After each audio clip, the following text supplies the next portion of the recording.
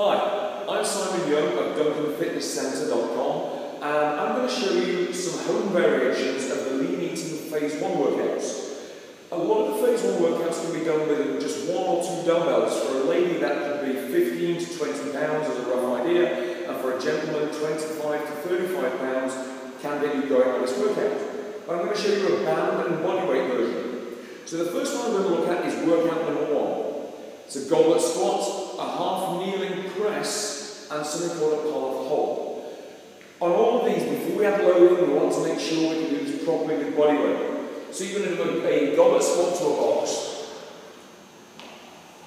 You want to stand with your feet hip width or slightly wider, and then you turn your feet out slightly. Imagine you stood on two pieces of paper towel with a perforation in them, and you're trying to pull those perforations apart. You'll feel that adds some tension into the lateral part of the hip. Hands up, the shoulder blades together. From there, you're going to sit down and back, loading the glutes, midsoles and heels, and push through, and to finish the movement, you squeeze your bum. So sit down and back, loading glutes, midsoles and heels, stand through, squeeze your bum to finish the movement. You can progress that by going with the band variation. The band variation, we stand on it so the band goes on the midsole. We squat down and we're going to put the band over our upper shoulders and we're going to put it away from our throat, keeping our elbows nice and high.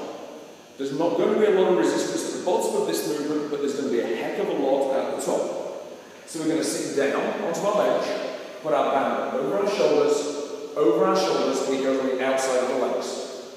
Grip the band, push the knees out, create that lateral tension. Take a deep breath in. Exhale and stand. Sit down and back, keep those elbows tall. Sit through and stand. Don't let the elbows collapse, you want to keep them nice and high.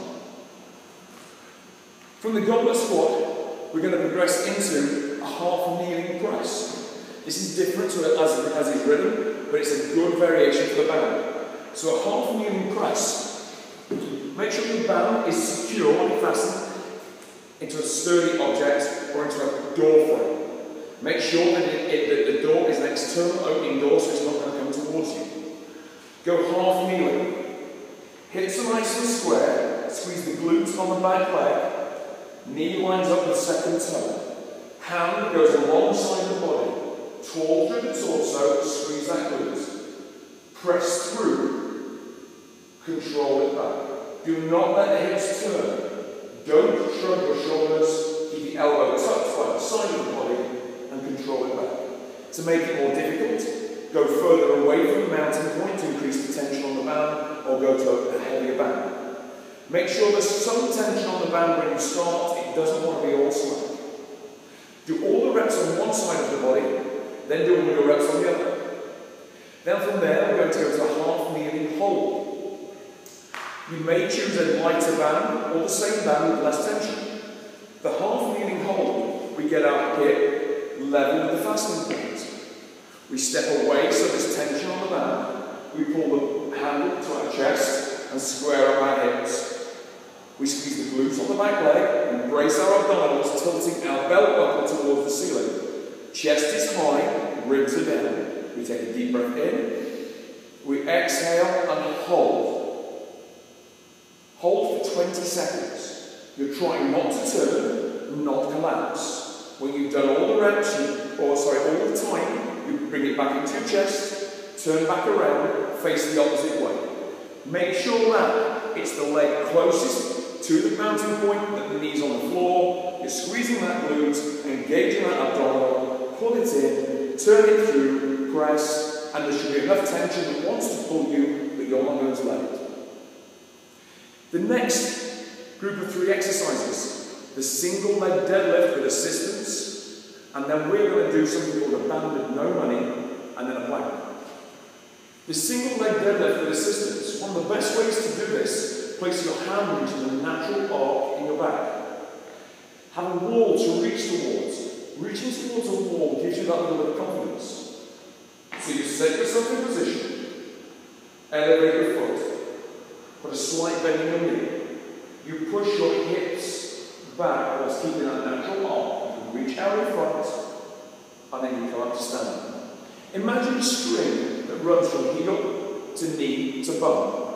As you reach forwards, that string is loose, and we pull the string tight to stand. So we reach forwards, we keep our natural arc, we pause, then we pull that string tight to stand. What we don't do is round our back to do this. We keep a nice neutral spine, good posture, reach, stand. Do all your reps on one leg, then all the reps on the other. Then you're going to take your lightest band, you're going to place it over your palms with your thumbs facing out. You want to set yourself into a neutral spine, so that means you squeeze your bum, chest is down, shoulder blades back. You pull the band apart horizontally. You're squeezing mid and upper back. Hold for a count of 1 1000, control it back. You're trying to keep your elbows tight to your ribs. Do not arch the lower back. From there, we're going to go into a plank. The plank is as written, but make sure on the plank you brace your abdominals. That can be tricky. So a couple of cues for bracing your abdominals. For a lady, it's like a Kegel exercise or like you're trying to stop mid-P. Low down feeling. That's a really good way to get that going on. Now, on a plank, a lot of the time people feel their lower back because their lower back is arching. Let me show you wrong, and then let me show you right. Start on your knees. Go to so you don't want to be shrugging, you want to be looking at your thumbs. Sometimes we get this kind of collapse. I don't know whether you can see that in my hips, but my hips are collapsed. I can feel my lower back.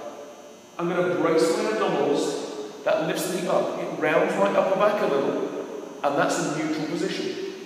The progression from that is toes. We're bracing our legs, we're squeezing our bum, we're pulling our shoulder blades apart, and we're in neutral. Non-neutral, we get a collapse. But we want to be neutral. It lifts up a little higher, and I'm bracing low down. Our final three for workout number one, we're going to do a hip raise, and I'll show you the progression on that. We're going to do a Brady band series to work shoulders, and then we're going to get the iso stretch as written. So the hip raise. We're going to lie on our backs, the soles of our feet flat on the floor. Head is on the floor. The knees are about hip width apart. Hip bones nice and square. I'm going to squeeze my bum and raise my hips off the floor. I only come to level, I don't overarch. So I come up to level, squeezing my bum as hard as I can. I control it down, brush the floor gently, squeeze and raise, control it down. Now, to progress this further, I can put my arms in the air, or put my thumbs on my temples. I can progress that even further by crossing into a figure four position, like I was sat in the chair, which means that one hip has to work a lot harder. I do all my reps on one side, then I cross, do all my reps on the other. Then we're going to go into Brady Band series. So this replaces the lateral raise and extension. Take a light band because it's a sneaky little exercise. The first one we're going to do is a pull apart. Just like we had with the no money, neutral spine, shoulders down, no shrugging. Brace your abdominals, you keep your arms with a very slight bend in them, you pull the band apart over your chest, squeezing your shoulder blades for count of 1 1000, control it back, and pull it out, control it back. Do 8 repetitions. Do not let the band go slack. When you've done that, your arm goes down by your side, your thumb faces down, Keep neutral spine and you do a diagonal pull. The arm stays straight. You control this through the shoulder. Don't let your hips move. Do eight each side.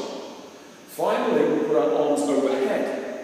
Neutral spine and we pull our shoulder blades together like we're trying to put them in our back pockets. Keep pulling those shoulder blades together. Don't let your chin lean forwards. Keep it tucked in.